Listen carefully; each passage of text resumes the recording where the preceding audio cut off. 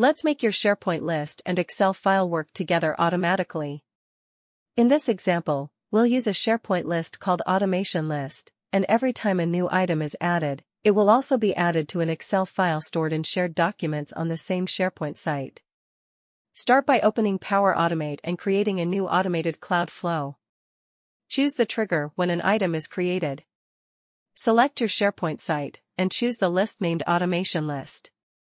This means the flow runs every time someone adds a new item to that list.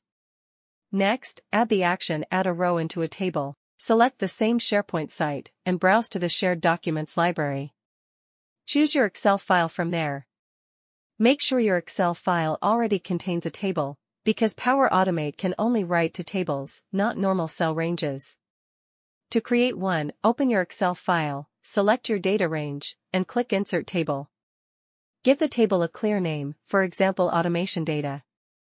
Each column name should match your SharePoint list columns, like description, department, and priority.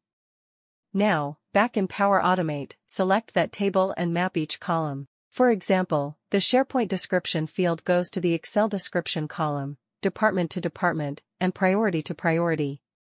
You can add any column you want. Click Save, and test your flow.